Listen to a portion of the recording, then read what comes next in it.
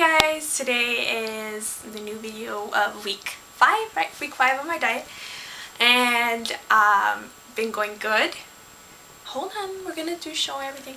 Okay, and so the new weight is 129.0. So it's about a pound and some ounces that we lost since last time.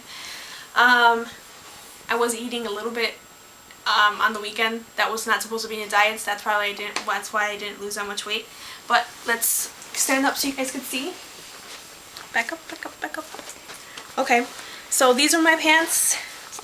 Size what? I don't know. I think they were size eight or six or whichever one.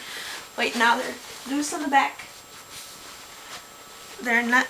They fit me wobbly on this, and my shirts fitting a little bit loose here on the sleeves stomach is not coming out. So we've been getting a hard stomach now, a lot of sit-ups.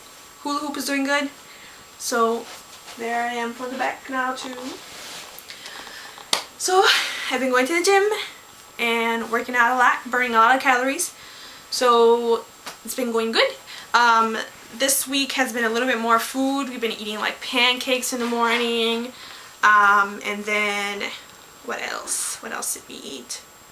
Uh, chicken and rice and um, um, um, I think today we're eating fish and then we're eating well it's a lot more stuff like before it was just like fruit a salad and your meat and that was it now it'll take a little bit more like beans rice chicken everything else but yeah that's pretty much it um not that big of an update um been doing huh?